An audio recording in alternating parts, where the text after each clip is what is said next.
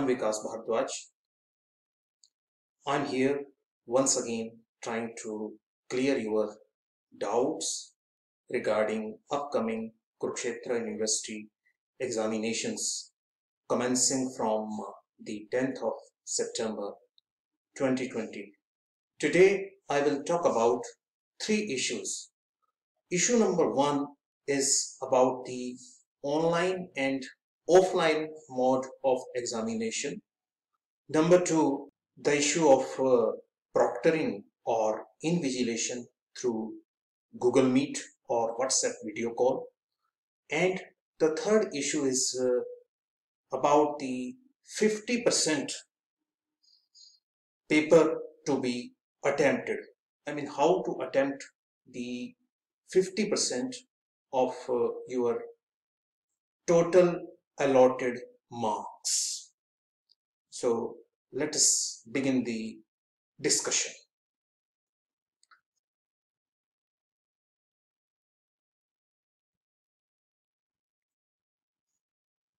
So this is the circular. देखिए ये एक सर्कुलर जो है वो कुरुक्षेत्र यूनिवर्सिटी की तरफ से आ, आया है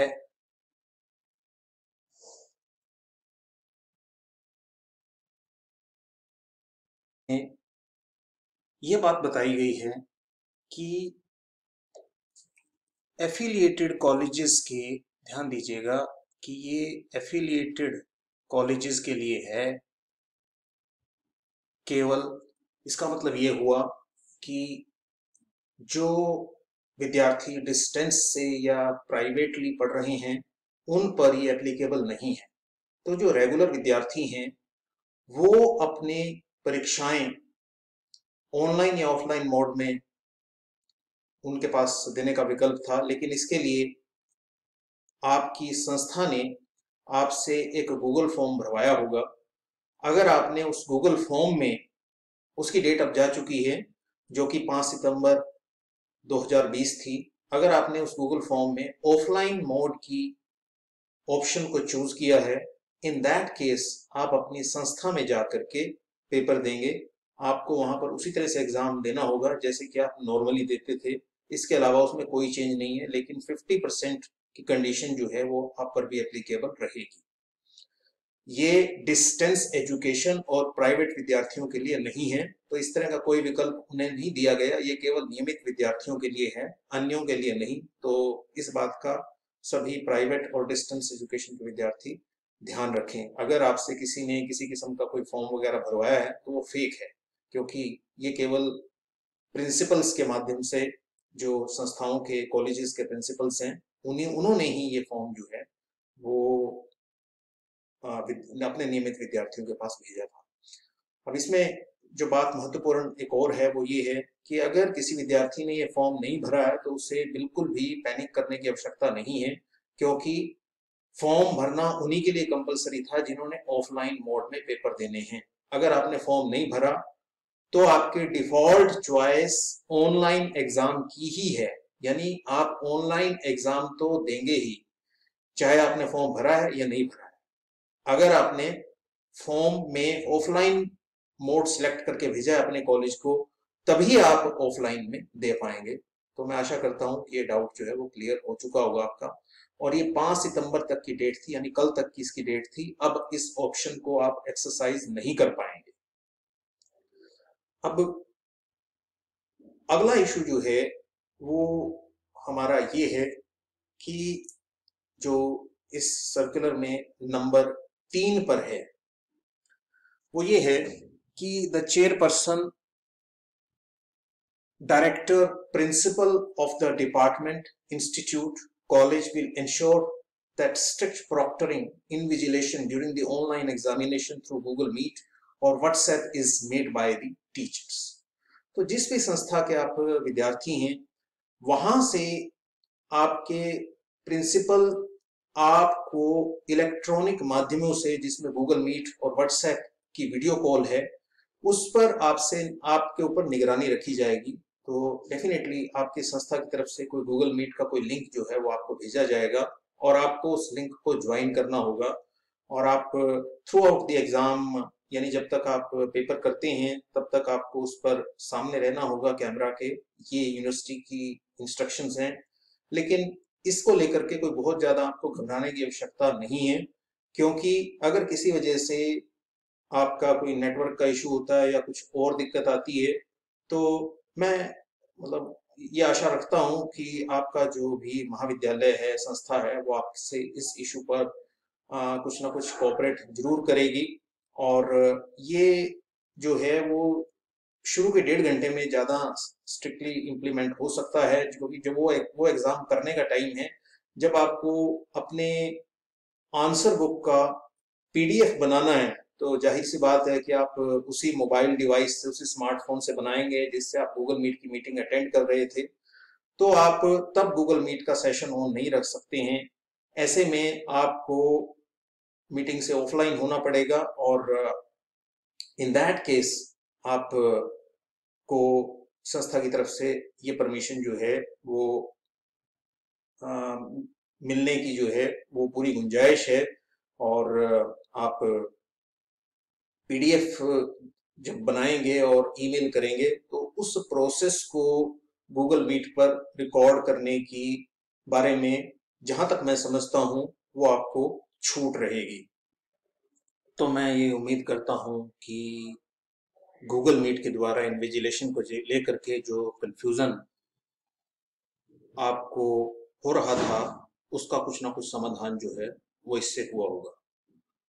अब मैं अपनी तीसरी बात की तरफ़ मूव करता हूँ, और वो बात ओरिजिनल जो गाइडलाइंस आई थी, उसके सातवें पॉइंट से रिलेटेड है। The candidate will be required to attempt 50 percent paper by choosing any questions तो ये यहाँ पर है ये। This one Uh, however, the student shall ensure that he has attempted answers carrying 50% of maximum marks. तो जितने भी आपके पेपर के नॉर्मल मार्क्स होते थे उसका 50 परसेंट यानी 80 नंबर का पेपर होता था तो आपको 40 का करना है। अगर आपका पहले 40 का होता था तो आपको 20 का करना है। 50 का होता था तो आपको 25 का करना है। The time allotted will be three hours for examination including time of downloading of question paper तो ये बात पहले से ही क्लियर है आपको। अब इस 50 परसेंट वाली बात को किस प्रकार से हम बनाएँगे? मतलब अपने मार्क्स को कैसे हम 50 परसेंट करेंगे? इसके बारे में मैं थोड़ा सा विस्तार पूर्वक चर्चा यहाँ पर करूँगा। अब मैं खुद अंग्रेज़ी विषय का प्राध्यापक हूँ तो ऐसे में मैं अपने ही विषय की बात यहाँ पर करूँगा, लेकिन मोर और लेस वही फार्मूला जो है वो आपका सभी पेपर्स में लागू होगा। कि आप 50 परसेंट कैसे करेंगे, किस प्रकार से करेंगे, दिक्कत उस केस में बिल्कुल नहीं आएगी। अगर जहाँ पर क्वेश्चन का नंबर जो है, वो हर एक क्वेश्चन के जो नंबर है सॉरी वो बराबर है और नंबर ऑफ़ क्वेश्चंस भी जो है, वो इस प्रकार से है कि वो इवन है। मान लीजिए टोटल आठ प्रश्न आते हैं और हर एक प्रश्न दस नंबर का है और ऐसे में आपके आपके, आपको कोई दिक्कत नहीं है। आप चार प्रश्न कहीं से भी करेंगे और आपके हो गए। चालीस नंबर के। लेकिन दिक्कत कहाँ आएगी? जहाँ नंबर ऑफ़ क्वेश्चन ओड है या जो क्वेश्चंस के मार्क्स अलॉटेड हैं वो अलग अलग हैं। इंग्लिश में यही दिक्कत आती है। तो मैं आपको अब उसका एक समाधान एक सजेस्ट कर रहा हूँ कि कैसे आप करेंगे। अब मैं आपको लास्ट ईयर का जो पेपर है हमारा जो मे नाइनटी 2019 में हुआ था उसको हम डिस्कस करेंगे। ये आपका जो एग्ज़ाम है वो 2019 का क्वेश्चन पेपर है। आ, पेपर आपका इसी ही स्टाइल में आएगा इंग्लिश का पेपर इसमें कोई परिवर्तन नहीं होगा जैसा कि हमें पता चला है यूनिवर्सिटी अथॉरिटीज से बात करके अस्सी नंबर का ही पेपर आएगा आपको लेकिन करना चालीस नंबर का है। तो इसमें अब क्या कॉम्बिनेशन आपका बन सकता है? मैंने इसको कुछ एनालाइज करने की कोशिश की है। तो देखिएगा कि आपका जो फ़र्स्ट क्वेश्चन है, अगर आप, जो आपको 50 परसेंट पेपर करना है, अगर उसमें से आप ये करने का सोचते हैं तो फ़र्स्ट क्वेश्चन आप सबसे पहले अटेम्प्ट करेंगे अगर आपको करना है तो। तो उस क्वेश्चन के जो हैं, वो देखिएगा कि 10 मार्क्स का ये हमारा क्वेश्चन जो है वो होगा। तो आपको ये यहाँ पर आपने 10 नंबर का क्वेश्चन जो है वो first reference to the context कर दिया। अगला क्वेश्चन आप चाहें तो इस कॉम्बिनेशन में वो दूसरा जो क्वेश्चन आता है वो आता है explain any two of the given terms तो इन टर्म्स में से ये हर एक क्वेश्चन जो है टू एंड हाफ़ मार्क्स का है। आप इसके दो पार्ट अगर करते हैं तो आपका पाँच नंबर का और हो गया। ठीक है जी? अब जो तीसरा पार्ट, अगर आप थर्ड क्वेश्चन करने की सोचते हैं तो वो पंद्रह नंबर का है, इसके तीन पार्ट्स हैं। तो अगर आप तीनों पार्ट, ये शॉर्ट आंसर टाइप क्वेश्चंस हैं, तीनों कर देते हैं तो इसमें पंद्रह हो गए। यहाँ पर ये ध्यान रखने की आवश्यकता है कि अगर आप तीन पार्ट नहीं करना चाहते, दो करना चाहते हैं, दस का तो वो भी ओके है लेकिन इन दैट केस फिर आपको पंद्रह नंबर का पेपर कहीं और से अटेम्प्ट करना होगा। आप पार्ट्स को छोड़ सकते हैं तो वो कोई दिक्कत नहीं रहेगी हमें। हम इस कॉम्बिनेशन में पांचवा क्वेश्चन जो है, वो कर सकते हैं। ये जो फिफ्थ क्वेश्चन है हमारा, वो लेटर राइटिंग पर है, जो कि दस नंबर का है। तो इस प्रकार इस प्रकार से हम देखेंगे कि हमारा जो, ये जो पेपर है, वो ten plus five plus fifteen plus ten ये फोर्टी मार्क्स का जो है वो हो जाएगा इस प्रकार से। इसके अलावा बहुत से अन्य कॉम्बिनेशन बन सकते हैं। मान लीजिए आप रेफरेंस टू द कॉन्टेक्स्ट नहीं करना चाहते हैं तो एक सेकंड कॉम्बिनेशन और है और उस सेकंड कॉम्बिनेशन में आप जो आ, ये जो आ, सबसे पहले जो क्वेश्चन करेंगे वो आपका क्वेश्चन नंबर जो है वो टू होगा वो टू टर्म्स आप करेंगे, पाँच नंबर का वो हो गया। देन क्वेश्चन नंबर थर्ड जो है, वो explain answer any three question ये short answer type question again 15 marks का। और फिर जो फोर्थ क्वेश्चन है, वो ऐसे टाइप क्वेश्चन है। दो आपको ऐसे टाइप क्वेश्चन करने होंगे तो आप इसको कर सकते हैं। पंद्रह नंबर का ये हो गया। और फिर आप सेवंथ पार्ट पर आ जाइए। सॉरी सेवंथ क्वेश्चन पर आ जाइए आप। वो क्वेश्चन जो है, वो वन वर्ड सब्सटीट्यूशन का है, आठ नंबर का ये हो गया।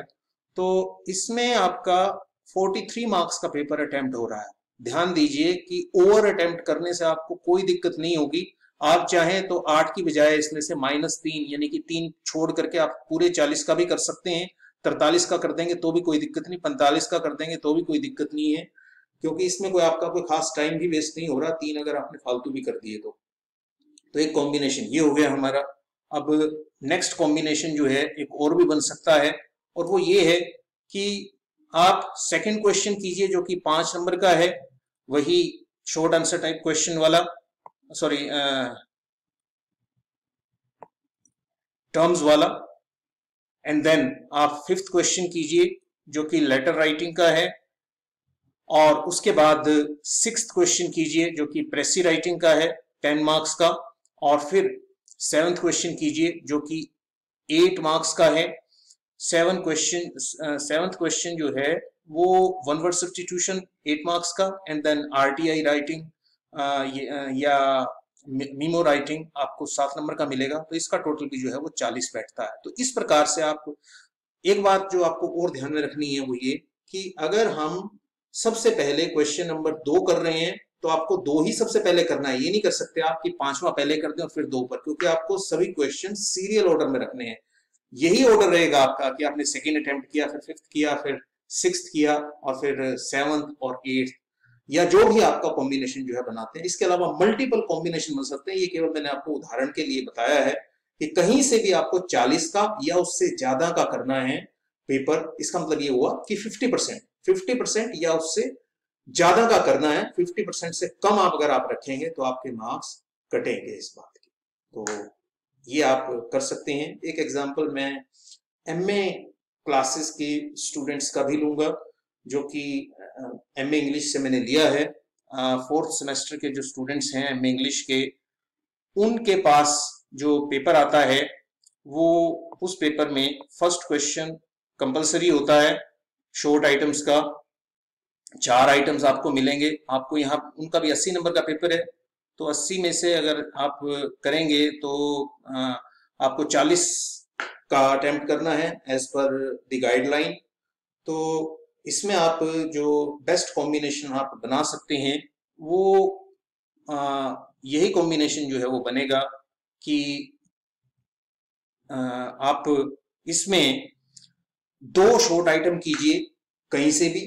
और दो आप ऐसे टाइप क्वेश्चन कीजिए चूजिंग डिफरेंट ऑथर्स आपको अलग अलग ऑथर्स जो है वो चूज़ करने हैं। ये नहीं कि आप फॉर एग्जांपल ये अमेरिकन लिटरेचर का पेपर है और uh, इसमें आप ऐसा नहीं कर सकते कि आप फ्रोस्ट पर ही दो क्वेश्चन अटेम्प्ट कर दें। आपको ऑथर ज़रूर अलग चूज़ करना होगा।